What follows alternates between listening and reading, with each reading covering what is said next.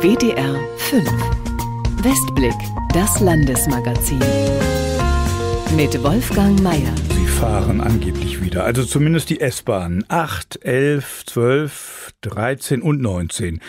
Aber dafür warten Sie jetzt womöglich vergeblich auf diverse RBs und REs, also die Personalprobleme der Deutschen Bahn. Die müssten zügig gelöst werden. Darüber sprechen wir gleich. Apropos S-Bahn, wir sprechen auch über die essbare Stadt und darüber, dass arme Menschen mehr Entlastung brauchen, mehr Unterstützung. Das sagen jene Organisationen, die sich für arme Menschen einsetzen. Aber wie kann Entlastung aussehen? Das alles und mehr nur echt im Westblick. So, ich bin heute mit dem Auto hier, ich gebe es ja zu, ein wenig aus Bequemlichkeit und weil es draußen so schwül war. Vor allem aber ganz ehrlich, weil ich ansonsten nur die Möglichkeit gehabt hätte, zu Fuß auf den Bahngleisen zu laufen. Die Wahrscheinlichkeit, dass ein Zug gekommen wäre, tendierte gegen Null. Heute Morgen war das so und heute Mittag auch noch. Diverse S-Bahnen fahren jetzt angeblich wieder, aber dafür stehen nun diverse Regionalexpresse und Regionalbahnen in den Depots. Personalmangel. Mein Kollege Tobias Zacher setzt uns auf die Schiene. Wie ist denn derzeit die Lage? Fahren die S-Bahnen tatsächlich wieder? Ja, die fahren wieder. Also das waren die S8, S11, S12 und S13 und S19. Die waren angekündigterweise seit Donnerstag, ja, sind die gar nicht mehr gefahren. Seit heute Morgen tun sie es wieder. Dafür gab es jede Menge Ausfälle auf anderen Linien und ja, der Grund ist immer der gleiche. Sie sagen es, kurzfristiger Personalmangel steht dann da auf der Homepage. Die Bahn sagt, es ist Haupturlaubszeit, da sind Leute nicht da und dann sind auch noch besonders viele Leute krank aktuell. Deswegen gibt's diese Ausfälle. Heute hat es dann nicht mehr die S-Bahn getroffen, sondern die Regios, also bei den Regionalbahnen die 67, die 73, die 82 morgens, alle Züge ausgefallen. Ja, und zum Teil dann auch bei den REs 13 und 14 und der Regionalbahn 46 heute über den Tag. Da spielt Corona natürlich auch noch mit eine Rolle. Nur mal eine Zahl, jetzt in diesen Tagen liegen 17 Mal so viele Menschen mit Corona im Krankenhaus wie vor einem Jahr. Also auch deshalb ist diesen Sommer die Not besonders groß. Mhm. Jetzt kann man sich Personal ja nicht backen. Also es geht jetzt immer so weiter, munter mit den Ausfällen? Ja, zum Teil schon, muss man sagen. Zum Beispiel steht schon fest, dass die RB 36 zwischen Duisburg, Ruhrort und Oberhausen länger ausfällt, nämlich bis 31. Juli. Und bis 7. August fällt die RB 32 zwischen Duisburg und Dortmund aus und auch der RE 49 zwischen Wesel und Wuppertal. Auf der anderen Seite sagen die Verkehrsbetriebe, sie hoffen, dass das Ganze jetzt nicht mehr so schlimm wird die nächsten Wochen. Und die versuchen da auch alles, was geht. Nordwestbahn und Eurobahn, die überreden gerade die Mitarbeiter, dass sie ihren Urlaub verschieben oder dass sie mehr Überstunden machen und so ein paar Verbindungen retten. Und auch bei den Busbetrieben, da wird man erfinderisch. In Dortmund müssen im Prinzip alle ran, sagt Rainer Holub, der ist Leiter des Fahrbetriebs bei DSW 21. Manchmal, wenn ich morgens komme, dann ist hier überhaupt niemand im Büro. Die sind alle am Fahren. Auch unsere Teamleiter, unsere Führungsverantwortlichen müssen dann auch schon mal einen ganzen Tag fahren, wenn es drauf ankommt. Ja, das also die Busse in Dortmund und in Aachen, da heißt der Busbetreiber ASEAG der krallt sich jetzt direkt die Fahrschüler und stellt die ein, obwohl sie noch gar keinen Bus fahren dürfen, sagt Sprecher Paul Hesel. Wir stellen auch Fahrerinnen und Fahrer ein, die noch keinen Führerschein haben und arbeiten dabei mit einer Fahrschule zusammen. Das heißt, die sind zuerst einige Monate bei dieser Fahrschule, um den Busführerschein zu machen und kommen dann zu uns und bekommen hier ihre ASEAG-spezifische Ausbildung. Ja, und die Bahn, die kauft sich im Moment jede Menge Leihlokführer. Mhm. Ja, wenn die Bahn nicht fährt, ist sogar das 9-Euro-Ticket verhältnismäßig teuer. Ne? Ja. Sie haben es gesagt, also Grund für die Ausfälle Personalmangel, Urlaubszeit, hoher Krankenstand. Mhm. Das betrifft ja nicht allein die Bahn, sondern haben wir auch immer mal wieder darüber berichtet, auch die Krankenhäuser, richtig? Absolut. Die Deutsche Krankenhausgesellschaft spricht von weiter großen Problemen. Nochmal so eine Vergleichszahl. Letztes Jahr um die Zeit lagen 75 Menschen mit Corona auf den Intensivstationen, aktuell 350, also fast fünfmal mehr. Dazu kommt, dass gerade die Personalsituation in den Kliniken nochmal besonders angespannt ist. Klar, auch Klinikpersonal wird krank und in der Pandemie haben besonders viele Mitarbeiter Überstunden angesammelt, weniger Urlaub genommen und das muss dann halt auch irgendwann mal kompensiert und abgebaut werden, weil die Klinikmitarbeiter natürlich auch ein Stück weit auf der letzten Rille laufen seit zwei Jahren und die Erholung auch natürlich nötig haben. Die Hälfte der Kliniken deutschlandweit arbeitet aktuell im eingeschränkten Betrieb wegen dieser Situation.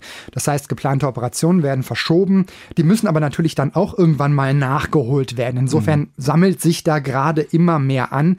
Die Kliniken haben da auch wenig Hoffnung auf Besserung. Dafür fehlt einfach zu viel Personal. Die Krankenhausgesellschaft spricht da von einer extremen Belastung im nunmehr dritten Jahr der Pandemie. Hm. Ja, manchmal denke ich, wir wälzen vielleicht doch ein bisschen zu viel ab auf unsere Kinder und Enkel, die dann, dann alles werden wuppen müssen. Mein Kollege Tobias Sacher war das. Dankeschön. Der Westblick, Ihr Landesmagazin auf WDR 5. Manchen Menschen geht es gerade überhaupt nicht gut, vor allem jenen, die wenig Geld haben und die jetzt auch noch vor der Herausforderung stehen, steigende Preise wuppen zu müssen. Und äh, die Tafeln, wichtige und zuverlässige Anlaufstellen für an die 350.000 Menschen im Land, die sind auch gerade im Krisenmodus. Auch sie leiden zum Beispiel unter den hohen Spritkosten. Mein Kollege Peter Hild hat sich die aktuelle Situation mal genauer angeschaut. Heike von Geer hat so eine Situation wie derzeit in den 28 Jahren, in denen sie die Düsseldorfer Tafel mitgegründet und geleitet hat, noch nicht erlebt. Zehn Ausgabestellen fahren ihre rund 50 Mitarbeiter täglich an, versorgen so etwa 8000 Menschen in der Woche. Durch die gestiegenen Energiepreise hat die Tafel allein rund 1000 Euro Mehrkosten für Benzin im Monat. Wir müssen sehen, dass wir auch Ruhe bewahren und auch bei den Ausgabestellen. Die müssen jetzt alle durchhalten. Es wird mehr, es kommen mehr Bedürftige und es ist schwieriger als vor, vor einigen Jahren noch. Die Zuversicht lässt sich Heike von Geer von der momentanen Lage jedoch nicht nehmen. Wie sagt der Rheinländer, es ist noch immer Jotjejange. Also bis heute ist es gut gegangen. Eine Antwort der Landesregierung auf eine kleine Anfrage der FDP zeigt jedoch, dass viele Tafeln in NRW derzeit auf Kante genäht sind. Mindestens 27 Tafeln haben einen Aufnahmestopp verhängt. Viele weitere Einrichtungen geben weniger Lebensmittel aus oder Bedürftige können sich dort seltener als sonst etwas zu essen holen. Petra Jung vom Landesverband der Tafeln in NRW. Es gibt auch in dem Bereich Lebensmittelspenden einfach Knappheit. Wir bekommen wenig Geldspenden. Und so ergibt sich ein kleiner Teufelskreis, dass sogar Aufnahmestopps verhängt werden, landesweit, überall, weil es eben hinten und vorne fehlt. Zum Beispiel auch an Ehrenamtlern. In Zeiten steigender Preise halten potenzielle Spender stärker ihr eigenes Geld zusammen, sagt Jung. Supermärkte kalkulierten knapper, sodass weniger für die Tafeln abfällt. Hoffnung macht ihr, dass die Tafeln im Koalitionsvertrag der neuen schwarz-grünen Landesregierung erstmals als offizieller Wohlfahrtsverband genannt werden. Gespräche über eine stärkere Unterstützung laufen bereits. Es wäre schon schön, wenn man mit ein bisschen weiterer Sicht einfach jetzt auch Büros, Organisationen, vor allen Dingen diese aufwendige Logistik auf solide finanzielle Beine stellen könnte, dass man zum Beispiel auch mal jemand anstellen könnte, es gibt kein Ehrenamt ohne eine Festanstellung, ohne dass jemand ein Dreh- und Angelpunkt ist. Das Land fördert seit zwei Jahren den Aufbau von regionalen Verteilzentren der Tafeln mit insgesamt rund 850.000 Euro. Das Projekt läuft jedoch im kommenden Frühjahr aus. Außerdem gab es einmalig knapp eine Million Euro an Zuschüssen für Zusatzkosten durch Corona. Als dramatisch für ärmere Menschen beschreibt auch Martin Debener vom Paritätischen Wohlfahrtsverband NRW die derzeitige Situation. Die Jobcenter seien für Beratung und Leistungsvermittlung wegen der Pandemie immer noch schwer erreichbar, sagt er. Doch das Land könnte einiges verbessern, etwa mit einer langfristigen Unterstützung von Beratungsstellen. Das könnte man schon als Dauerlandesförderung auch äh, mal entfristen. Werden immer nur für ein, zwei Jahre bewilligt. Es könnte auch deutlich gemacht werden, dass Erwerbslosenberatungsstellen nicht nur für Erwerbstätige sinnvoll sind, sondern durchaus auch für äh, Rentnerinnen und Rentner. Ähm, auch das ist eine große Zielgruppe oder Alleinerziehende, die im Moment gar nicht äh, auf den Arbeitsmarkt äh, kommen. Klar ist für Debener, dass eine Entlastung für die Menschen schnell kommen müsse. Ein unbürokratischeres Bürgergeld, wie es Bundesarbeitsminister Heil angekündigt hat, begrüßt er, aber bitte nicht erst im nächsten Jahr. Die Zahlen in der Altersarmut steigen, die äh, Kinderarmut, Alleinerziehendenarmut äh, stagnieren auf hohem Niveau in NRW. Äh, da hat sich nichts dran geändert. Das muss dringend angegangen werden und die Leute brauchen einen anderen Umgang, einen anderen Zugang. Wir brauchen einfach erheblich höhere Regelsätze und sind sehr gespannt, was denn da jetzt im Herbst vorgelegt wird. Nicht nur Martin Debener ist gespannt auf die kommenden Monate, auch Heike von Geer von der Düsseldorfer Tafel. Denn trotz aller Zuversicht bleibt die Ungewissheit, wie es für ihre Einrichtung weitergeht. Es darf nicht weniger werden an Spenden, an Mitarbeiter, auch an finanziellen Spenden, dann wird es schwierig. Und es gibt nicht nur schlechte, es gibt auch gute Nachrichten. Normalerweise machen Imker, jedenfalls die, die ich so kenne, eher einen besorgten Eindruck. Trotz des süßen Honigs, den sie ernten, sind die Probleme bitter. Krankheiten, Milben, Bienensterben, zu viele Schottergärten, irgendwas ist immer. Aber heute strahlen die meisten wie Honigkuchenpferde. So jedenfalls berichtet es mein Kollege Jan-Ole Niemann. Viel Regen und dann Sonne. Die Frühjahrsernte, die ist super. Hier ist die Königin. Ein sehr fleißiges Mädel. So. Ein wunderschönes Volk. Weitermachen. Reinhard Brandt-Tönjes hält einen Holzrahmen mit einer Wabe in der Hand. Unter hunderten Bienen beobachtet er strahlend die Königin. Seit sechs Jahren ist er Hobbyimker. Ihm macht vor allem das Pflegen der Bienen Spaß. Den Honig mag er pur gar nicht so gerne. Ich bin jetzt nicht der typische Brötchen und dann Honig drauf Esser. Ne? Also von mal ein Honigbrötchen ist schon in Ordnung, aber äh, regelmäßig ist das so nicht meins. Ne? Aber wie gesagt, kochen mit Honig. In seinen vier Kästen am Rande des Gartens in Riedberg-Mastholte summt und brummt es. Vor ein paar Tagen hat Reinhard Brandtönjes Honig geschleudert. Dabei ist er immer gespannt, wo seine Bienen unterwegs waren und wie sich das auf Ertrag und Geschmack auswirkt. Die Ernte in diesem Jahr aus seiner Sicht zweigeteilt. Das Frühjahr war also sehr gut. Die Völker waren relativ früh zugange. Da, wo wir gestanden haben im Raps, der hat relativ spät geblüht. Von daher haben wir also einen sehr guten Rapsertrag. Der Sommerhonig ließ zu wünschen übrig. Die Hälfte von dem, was letztes Jahr war, liegt daran, dass es wahrscheinlich zu trocken ist. Genau, denen ist es auch zu warm. Da man, sind dann immer einzelne Bienen, die sitzen vor dem Flugloch und mit Flügelschlag pumpen die quasi frische Luft rein. Rainer Blum kniet vor seinem knallroten Bienenkasten, direkt neben seinem Haus in Bielefeld. Heute ist's warm und trocken, so wie an vielen Tagen in den vergangenen Wochen. Darum ließ der Sommerertrag zu wünschen übrig. Das Bienenvolk im Roten Haus produzierte deutlich weniger, als Rainer Blum erwartet hatte. Trotzdem liebt der Imker in dritter Generation sein Hobby. Die Völkerentwicklung zu beobachten, wie die die Brut aufziehen und, und das, das macht dann einfach auch Spaß. Und das Honigernten, ja, das gehört eben auch dazu. Ne? Gemeinsam mit seiner Frau Ursula kümmert sich Rainer Blum um mehrere Völker. Bei allen war der Ertrag dieses Jahr unterdurchschnittlich und die Ernte schmeckte auch deutlich weniger nach Linde, stattdessen nach vielen verschiedenen Blüten. Gerade dass der Geschmack jedes Jahr anders ist, reizt Ursula Blum. Äh, das macht Freude, dann zu probieren und zu schmecken, was für Blüte ist drin in den Honig. Das hängt von dem Ort, wo die Bienen stehen und was da gerade geboten wird für die Bienen. Dann lass uns den mal testen. Imker Reinhard Brandtönjes steht in Riedberg-Mastholte neben seinem Freund und Imkerkollegen Johannes Meyer-Frankenfeld, der gerade Gläser mit Honig befüllt. Beide haben einen Plastiklöffel in der Hand. Sie tunken ihn in den weißen, frischen Rapshonig und probieren. So wie er sein soll. Cremig. Cremig. Mir schmeckt er gut. Vor allen Dingen, ich bin immer begeistert von der Konsistenz, wie er das hinkriegt. Das ist sein Geheimnis so ein bisschen. Das Geheimnis des Honigs. Wie der im Sommer schmeckt, wird sich bei vielen Imkern in NRW bald zeigen. WDR 5 Westblick.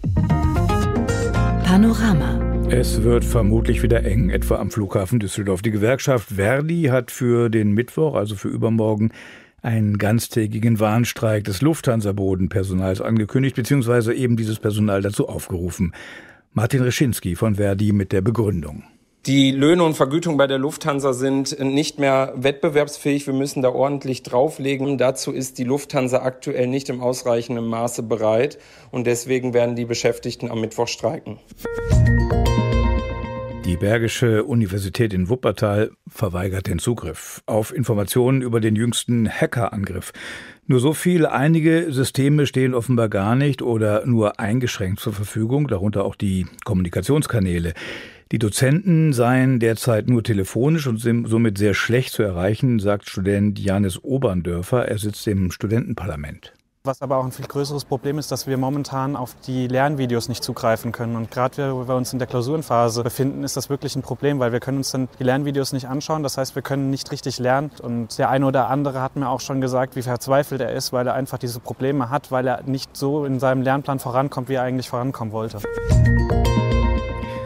Wir haben hier kürzlich über das Pferd gesprochen, das bei einem Schützenumzug in Düsseldorf tot zusammengebrochen ist. Es hatte, sagt das untersuchende Veterinäramt, offenbar unter einer Herzschwäche gelitten. Ein offizielles Obduktionsergebnis gibt es aber nach wie vor noch nicht.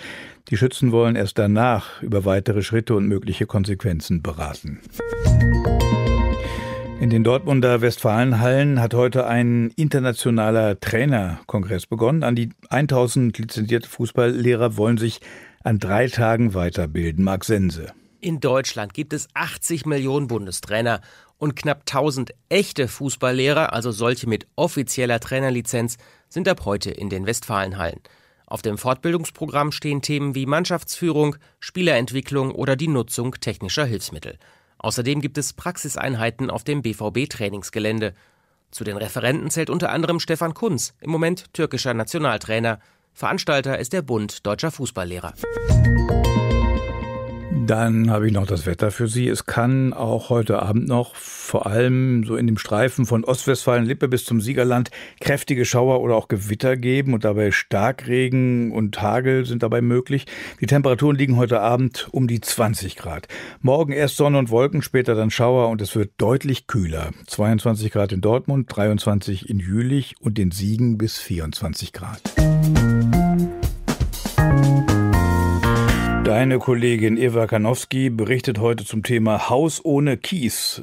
So hieß das heute Mittag in der Konferenz. Und bei mir im Kopf ist sofort der Gedanke reingerastet, wie ohne Kies. Man braucht doch, wenn man ein Haus baut, ausreichend Schotter, oder? Ja, vielleicht sogar beides. Und das reißt Löcher in die Landschaft. Und das ist das Thema. Bürgerinitiativen schimpfen über die vielen Baggerseen vom Kiesabbau und sagen, Leute, wir wollen nicht, dass immer weitere Acker- und Weideflächen dem Rohstoffhunger der Bauindustrie zum Opfer fallen. Deshalb denkt die neue Landesregierung über eine Rohstoffabgabe nach und über die Frage, wie könnte man denn zum Beispiel Recyclingmaterial besser verwenden beim Bau. Es gibt Beispiele am Niederrhein. Ausgangspunkt war ein Rundflug über den Niederrhein. Und ich war erschrocken, wie viele Löcher da unten in der Landschaft waren, die man auf ebener Erde gar nicht sieht, wenn man vorbeifährt. Man sieht dann Gebüschstreifen, Zäune, man ahnt nicht, dass dahinter Wasserflächen sind. Ich habe mir gesagt, wenn ich mal baue, ich möchte nicht schuld daran sein, dass irgendwo ausgekiest werden muss. Berichtet Krimi-Autor Erwin Kohl aus dem Städtchen Alpen. Seine Frau Bettina Kohl geht noch weiter. Wir wollten einfach so bauen, dass wir möglichst wenig Ressourcen verbrauchen. Oder wenn, dann nachwachsende Ressourcen. Im Münsterland fanden sie dann ein Unternehmen, das Holzhäuser baut und auch sonst die Ökologie auf seine Fahnen geschrieben hat. Im Unterschied zu Fertighäusern erlaubt es den Häuslebauern individuelle Planung. Am Haus selbst finden sich weder Sand noch Kies. Das Haus besteht aus Holzständerwerk von nachwachsenden Bäumen, ganz wichtig für uns. Sie haben zwei Bretter da quasi nebeneinander gesetzt, Löcher gelassen und da wurden dann die Zeitungsreste oder die Zellulose reingeschossen. Die bilden die Isolationsschicht. Erwin Kohl hat sich schlau gemacht, woher die Papierreste stammen. Beispielsweise aus Druckereien. Bevor die Zeitung den andruckt, die werden die Rollen gewechselt und die werden normalerweise weggeschmissen. Und da gibt es Firmen, die kaufen die auf und machen daraus eine Zellulose. Die schneiden dieses Papier in winzig kleine Stücke versehen es mit einem Stoff, damit es nicht mehr brennbar ist und pusten es als Dämmstoff in unsere Zwischenwände rein. Das Haus der Familie ist weiß verputzt. Zumindest dort dürfte Sand aus den Baggerlöchern ringsum benutzt worden sein, vermutet man doch. Auch da ist kein Kies drin. Da wird ein Material genommen, was in der Marmorindustrie abfällt. Das wird dann so verarbeitet, dass das dann wie Putz aussieht. Nur bei der Bodenplatte, auf der das Haus steht, kamen die Kohls um Beton nicht herum.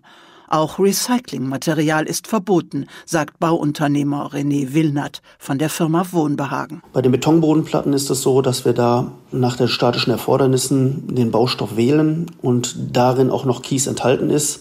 Jedoch, wenn wir in unsere Nachbarländer gucken, Österreich und die Schweiz, dort ist es schon beaufsichtigt zugelassen, dass Recyclingmaterialien wie Betonbruchteile mit in einem neuen Beton verwendet werden dürfen. Anteile liegen da zwischen 20 und 25 Prozent. Der Bauunternehmer wartet darauf, dass sich da die Vorschriften auch in Deutschland ändern. Unter den Bodenplatten verwendet seine Firma bereits recycelten Schotter, denn der Rohstoff Naturschotter sei genauso knapp wie Kies und Sand, sagt Wilnert. Das Ehepaar Kohl wollte auch unter den Wegen rund ums Haus recyceltes Material verwenden. Dafür musste eigens ein Gutachten eingeholt werden, denn es gilt, dass das Material vor der Verwendung aufwendig geprüft und zur Verwendung auf der Baustelle zertifiziert wird. Im Wasserschutzgebiet und bei geringem Abstand zum Grundwasser können gesonderte Regelungen gelten. Für den Einbau von Recyclingmaterial im Boden muss vorher eine Erlaubnis bei der unteren Wasserbehörde beantragt werden erläutert Eva Richard vom Kreis Wesel. Bei der Drainageschicht rund ums Haus kamen die Kohls um Kies aus Versicherungsgründen nicht herum, obwohl es sogar preiswertere Alternativen gegeben hätte. Ansonsten wäre die Gewährleistung verfallen für das Haus. Natürlich haben auch die Kohls vor dem Hausbau Preise verglichen. Der Quadratmeterpreis ist fast genauso hoch wie im herkömmlichen Steinhaus. Aufgrund von guter Isolierung, Wärmepumpe und Photovoltaikanlage haben die Kohls Heizkosten von 16 bis 18 Euro im Monat. Wir swingen mal nach Düsseldorf rüber. Düsseldorf ist schon eine nette Stadt. Ich darf das sagen. Ich komme weder von hier noch bin ich Kölner. Manche sagen sogar, die ich kenne, alt lässt sich durchaus trinken. Ich aber sage nun, Düsseldorf soll sich bald sogar essen lassen. Und das ist dann sogar gut fürs Klima. Mein Kollege Johannes Hoppe über die essbare Stadt. Wir haben dieses Jahr eben gesagt, jetzt geben wir der Erde wieder mal ein bisschen Ruhe und nehmen jetzt zum Beispiel sowas wie Karotten und ein bisschen Salat und da eine Kartoffel und dieses Mal ein bisschen weniger. Aber die Kinder wollen unbedingt noch eine Tomate haben, also wahrscheinlich kommt auch noch eine große Tomate. Maximilian Fries steht an seinem Hochbeet an einer Hauptverkehrsstraße im Düsseldorfer Stadtteil Lierenfeld. Er ist schon in der zweiten Pflanzsaison und bewirtschaftet das Beet zusammen mit einer weiteren Familie in seinem Haus für ein grüneres Düsseldorf. Hier stehen zwar Bäume und Hecken, aber es ist total schön, so einen Ort noch zu haben, wo man sieht, hier wächst auch was und äh, ist auch total spannend, weil es bleiben ganz viele Leute stehen und gucken sich das an. Da ist auch so ein Schild dran. Leute nehmen sich mit. Wir hatten jetzt hier, die man gar nicht mehr sieht, sind jetzt alle schon weg. Radieschen dazwischen gepflanzt. Die haben die Leute sich einfach rausgenommen, mitgenommen. Und das ist ja die Idee davon. Also, dass auch das Viertel so eine Möglichkeit hat, zu sehen, okay, man kann auch irgendwie selbst so sein Essen ein bisschen anbauen und, und das ganze Viertel ein bisschen grüner machen. Grün ist aber nur ein positiver Nebeneffekt des Hochbeets. Das hat nämlich auch einen erzieherischen Aspekt für die drei kleinen Kinder von Max. Max. Wir gehen jeden Morgen ans Beet und gucken, was passiert ist. Und die haben selber ausgesucht, was wir pflanzen und dürfen gießen. Also das ist schon auch für die kleineren Kinder so eine, gerade wenn man hier mitten in der Stadt wohnt, einfach eine Beziehung zur Natur und zum Essen. Wo kommt mein Essen her aufzubauen? Das ist uns sehr wichtig. Wichtig kann so ein Hochbeet auch für ein Seniorenheim und seine Bewohner sein. Zum einen musste das Edmund Hilwert Haus das beantragte Hochbeet im Wert von gut 1000 Euro nicht selbst bezahlen. Und zum anderen ist es jeden Tag Treffpunkt für die älteren Menschen, die es selbst bepflanzen. Das ist schon überwältigend. Wir hatten zu Hause zwei Balkone, eine mit Sonne, eine ohne, war also super. Ne? Und das ist jetzt hier so eine kleine ja, Erinnerung. Ich finde es also wirklich toll, dass, dass verschiedene Sachen drin sind. Nur wäre es schön, haben wir eben noch gesagt, wenn wir mehr Fläche hätten, dass mehr auseinander wäre. Ne? Dann wird auch noch mehr größer werden und so. Ja? Aber es ist wirklich prima. Ne? Und wenn es dann so richtig auch schön blüht, die Tomaten und so, sieht auch obendrein noch schön aus. Ne? Im Moment gibt es etwa 100 dieser Beete in ganz Düsseldorf. Mit den vielen neuen Anträgen werden es am Ende des Jahres doppelt so viele sein, sagt Thomas Losen. Er leitet das Umweltamt in Düsseldorf und ist mit der Nachfrage mehr als zufrieden. Der Erfinder, so sage ich spaßhalber immer, ist eigentlich äh, Herr von Ribbeck auf Ribbeck im Havelland. Der hat mal einen Birnbaum gepflanzt, damit die Kinder und die äh, Leute im Dorf sich bedienen können. Er hat sogar eine Birne mit ins Grab genommen, damit das über seinen Tod hinaus wirkt. Also der Birnbaum, der von allen genutzt wird, das ist die Grundidee, die schon lange da ist bei uns, aber im Laufe der Zeit etwas in Vergessenheit geraten ist. Hochbeetbesitzer wollen also etwas für ihre Mitmenschen tun. Umso unverständlicher ist es, dass sie manchmal Opfer von Vandalismus werden, wie zum Beispiel Max Fries. Wir hatten äh, ein bisschen Gestänge aufgebaut für die, äh, für die Tomaten und das wurde halt eine Nacht entwendet. Das war halt sehr schade so und dann ärgerlich, aber das ist halt so. Wir haben es wieder aufgebaut und also es passiert selten mal. Er würde sich dennoch immer wieder für ein Hochbeet in Düsseldorf entscheiden. In diesem Jahr können leider keine Anträge mehr gestellt werden. Doch wenn wieder Beete frei sind, ist das ganz einfach. Es war jetzt nicht irgendwie eine E-Mail mit unserer Quartiersmanagerin und dann kam irgendwann ein Laster mit einer riesen Palette, wo alles dabei war. Wir haben das halt einfach zusammen als Nachmittagsaktivität aufgebaut alles reingekippt. Die Samen waren auch schon dabei und los ging's. Also freuen uns total, dass wir das haben und sieht ja auch ganz gut aus und der Salat schmeckt lecker. Johannes Hoppe über die essbare Stadt. Ja, Düsseldorf scheint ganz lecker zu sein. Keine Ahnung, wie die Politikum-Kollegen auf diese Idee kommen konnten bei dieser Hitze. Sie sprechen übers Heizen, darüber, wie man im Winter als armer Mensch, wenn man zum Heizen kaum Geld hat, nicht erfriert. Wie gesagt, cooles, heißes Thema. Heute in unserem Meinungsmagazin lege ich Ihnen warm ans Herz. Wir sind weg, das war der Westweg. Ich bin Wolfgang Mayer. Schönen Abend noch, auch im Namen des Teams. Am Ende wird alles gut. WDR 5 bietet mehr. Westblick weiß, was Nordrhein-Westfalen ausmacht. In Politik, Gesellschaft, Wissenschaft und Kultur. Kultur pur bietet Skala. Von der kleinen bis zur Großkunst. Wir erweitern ihren Horizont über Spielpläne und Ausstellungen hinaus und reflektieren Kultur in allen Facetten und Erscheinungsformen. Skala. Aktuelles aus der Kultur. Auf WDR 5, Montag bis Freitag um 14.05 Uhr und um 21.05 Uhr. Und wann immer Sie wollen, wo immer Sie wollen, auch als Podcast. WDR 5. Ich will es wissen.